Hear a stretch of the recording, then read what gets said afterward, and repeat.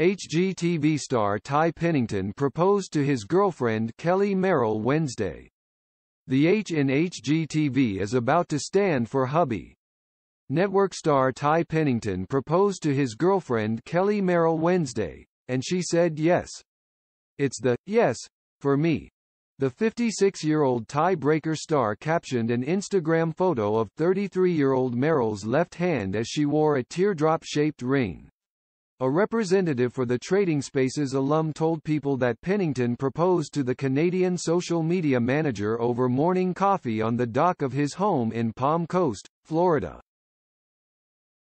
The couple met in 2010 while Pennington filmed a TV show in Toronto, staying connected over the years through mutual friends. They grew closer after reconnecting in early 2020 and subsequently choosing to quarantine together. I have admired Kellee from afar for years. She's a beautiful person inside and out, Pennington told People. Luckily our paths finally crossed at the right time. It's one of those things where you just feel happy being around a person. I never thought I would get married, but she changed that. Glad I waited for the one. I am so happy for you my friend. Cannot wait to meet her.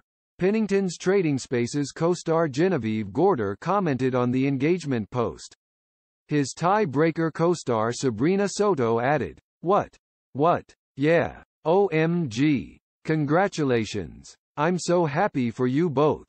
The happy couple is in the middle of renovating their dream home, which they recently purchased together in Savannah, Georgia.